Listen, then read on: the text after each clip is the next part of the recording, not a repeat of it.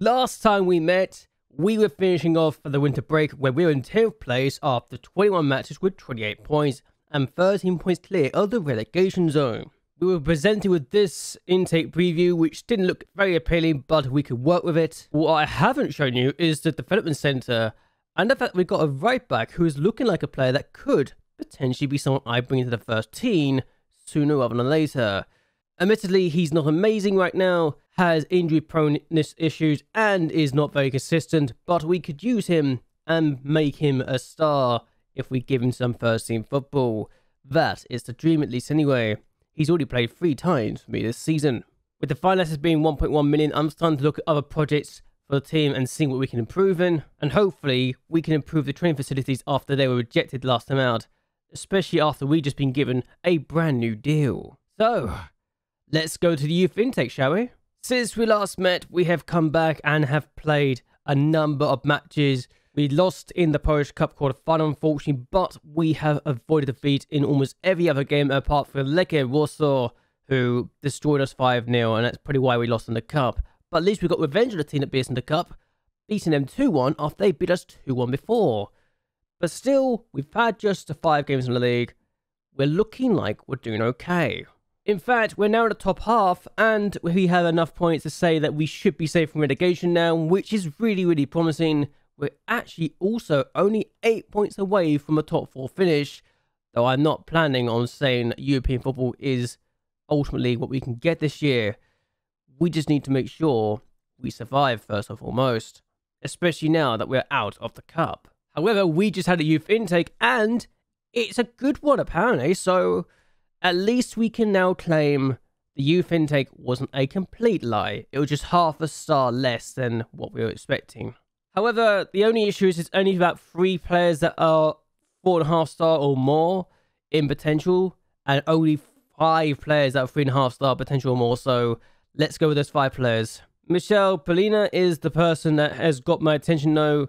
An exciting midfielder who could also be a DM and I am just going to say who now. I could play this guy as Mezzala, or he could be a deep line playmaker, or he could be a box to box, not a very good one, but he's definitely Mezzala or a deep line playmaker.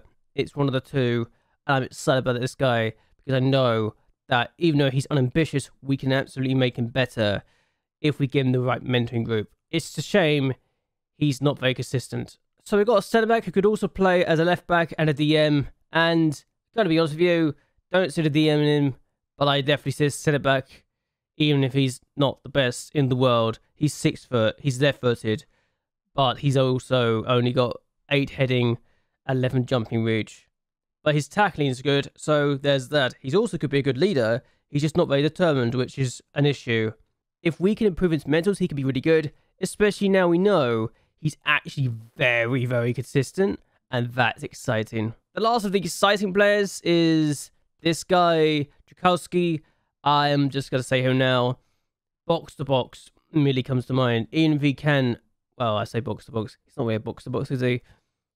He's a player that I will probably have to play box to box because of where I do my thing, because of my tactics. But he's got 12 tackling, so it could definitely work. He's definitely a ball midfielder first and foremost, but if I can make him better, then we can make him better. I'm definitely going to as a box to box though, so we can get more attributes improving. But yeah, he probably doesn't fit my tactic annoying enough. He is slightly consistent though, so it's not terrible. And he's not got a bad personality, so it's not the end of the world. So, Bukowski is a player that I genuinely didn't think I'd be covering because of, you know, the fact he's only got three and a half star potential ability, but Winger has potential, not amazing. Inverted winger, probably not ideal to do when he's left footed and it's a left wing he's playing from. But again, what can you do?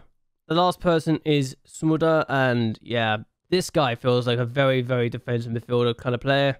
Deep line playmaker for me is what I'm looking at him thinking, and I just see deep line playmaker. I really do. That's what I can see out the guy. So now that we've looked over all the players, let's go to the end of the season and see where we finished. Well, we've had a lot of games since the youth intake, and we've had eight, in fact. What I wasn't expecting was to struggle as much as I have in the last eight games. Admittedly, Some of the games we had were against the best teams in the country. Lecce and Lazio are the two that came to mind.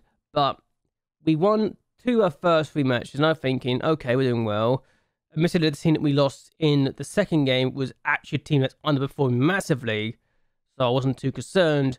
I was slightly concerned when we then didn't win for three matches, which again not ideal. We then beat Gornik to get a third win in seven matches before we blew a two-goal lead in the last game of the season against Rizla and lost 4-3. So not ideal that. It was a very frustrating game, and I feel like any other time we probably would have won, but we didn't.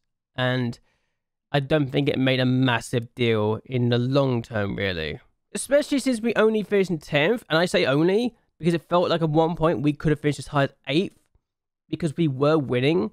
And I think results between teams would have started again in 8th place anyway because of the fact we didn't beat Radom that time. And we lost against early in the season as well. So there's that. But the top four teams, honestly, I was expecting those four teams to be the top four. Apart from Pogoń, think Pogoń were not expected to be there. So let's double check this. No, they were the top four. In fact, Raków was the team that underachieved and finished outside the top five when they should have been in the top five. So other than that, they were all doing quite well. And in fact, Raków only missed out of the top five by one position anyway. So really, they didn't have a, a terrible season. The fact we finished 12 points off the European places, but finished 22 points clear of the relegation zone is great. There was a shock relegation though, and that was not expected. Apparently, this team were expected to do much better than what they did. And to finish in 16th place when they were expected to finish in 7th is not ideal for them, and that could hurt the reputation big time. But that happens, doesn't it? So let's go over the season review. So yeah, season review.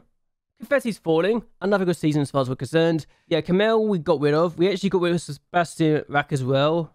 Uh, I think we released him apparently, but yeah, we also got rid of this guy. We got rid of some players and we just didn't see the point of keeping them. We loaned out two players. One of them got a lot of football. The other two didn't get as much football they wanted to, and that wasn't the end of the world. But here we are now. We're told to only attempt to avoid relegation, and yet we get a mid-table finish, which honestly, great season, great start to the year. And the fact that we did have a really bad start and weren't 16 plays after 10 matches great. Quarterfinals, best ever run in the cup so far.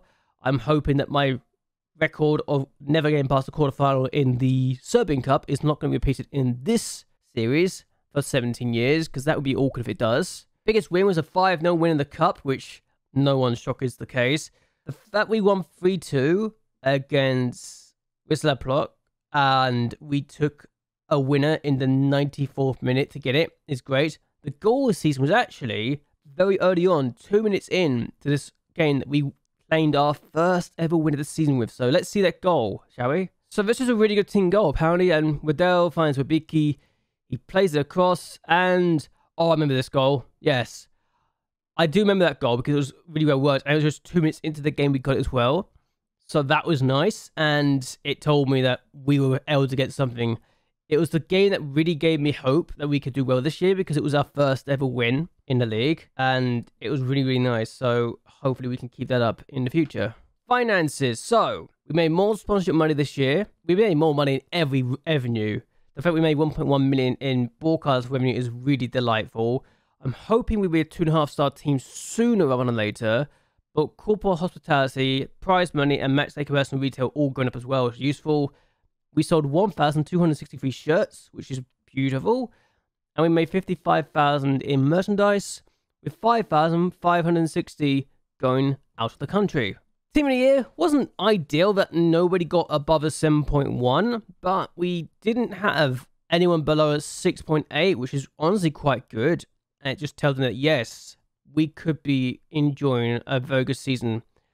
The fact I actually had a goalkeeper that played 19 games, being the best goalkeeper, says a lot.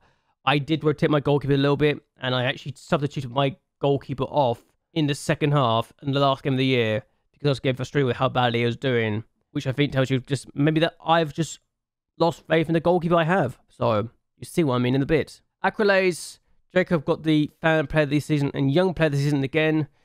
And Pietri Kakles was the man with the goals this season. Suter was the man with the most goals, 19. Wabiki with 8 assists this year. And Jacob got the most play the matches and highest effort rating. Well, Shoki got the most passes per 90, 73. Still haven't got a hat trick hero yet, which is surprising. But there you go. And Jacob Sutar is now officially the record holder for the most league goals ever scored. And Paulina made an appearance at the age of 15 years and 155 days. We saw the player for 51,000 in Camille, who's actually playing, which is annoying. Well, Pietro Caglis is not only the man with the fastest ever goal, 1 minute and 90 seconds, but he's also the oldest goal scorer, 32 years and 280 days. History in the making. Your hard work and effort paid off on the pitch, and such a feat didn't go unrewarded at our end of season award ceremony. Motor Lublin owed everything to a fantastic start of the season. Motor Lublin started better than anyone would have expected and really slipped up afterwards. Thank you, Dominic. And the timeline is here. And I think this is a good sign, personally, that we are doing better and better. Remember when these records say, oh, where's the goal? Those points tally? That's now changing because it's gotten even worse. And we have actually kept some of our players for five years now, which is really, really good. And apparently, we've set an unwanted record in the league where we just earned 48 points, which I think is a lie. That's not a bad tally at all, personally, but that's just me.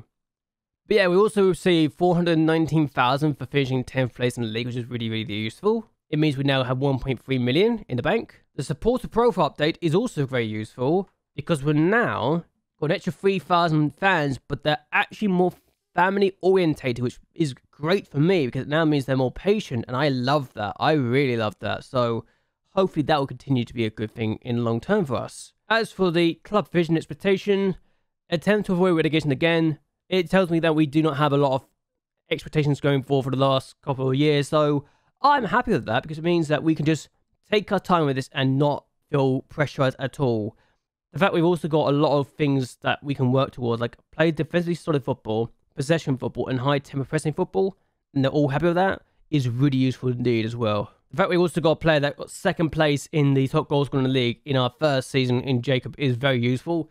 He's getting better now, and I think you can understand why I'm a bit excited when I see he's doing better. He hates big matches though, but he's also only a decent second tier player now, which makes you wonder how on earth has he been doing so well in the league for us with these goals? He's got 39 goals so far, for goodness sake. But yeah, we also had a player that made the player of the season on the bench, which I thought was pretty cool. And it told me that we were doing well. So maybe, just maybe, we can do more. But now let's go to the very end of the season, where we see who goes up, who goes down, and some other bits and pieces I didn't know was coming. So I'll see in a bit.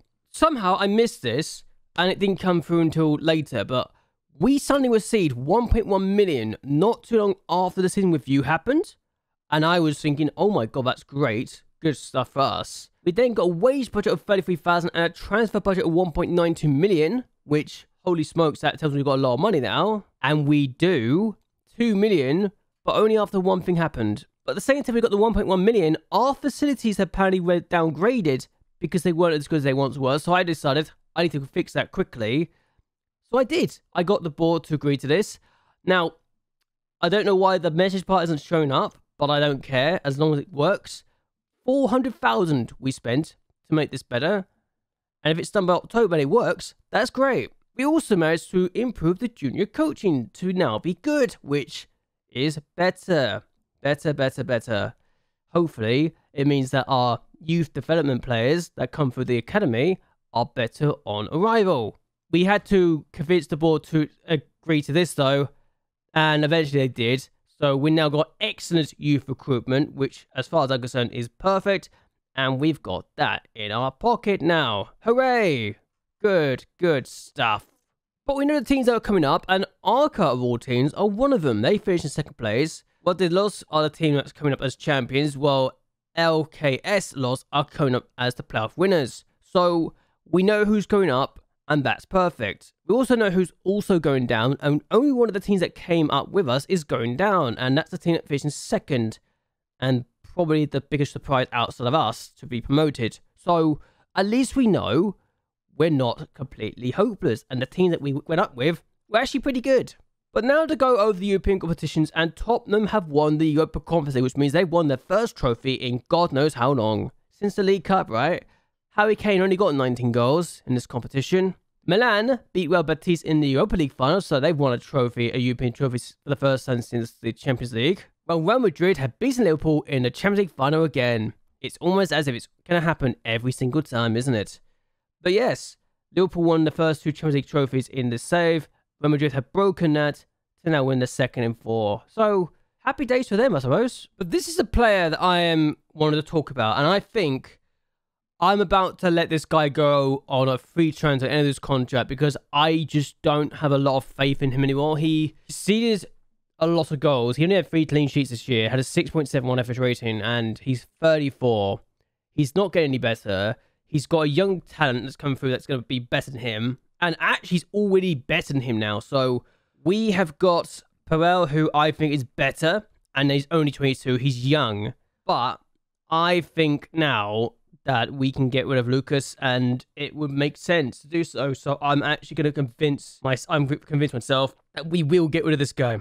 I am not going to play this guy anymore. I even took this guy off in the last game because of how badly he was doing, and I'm just sick and tired of him being useless. He got 6.1 in the last match.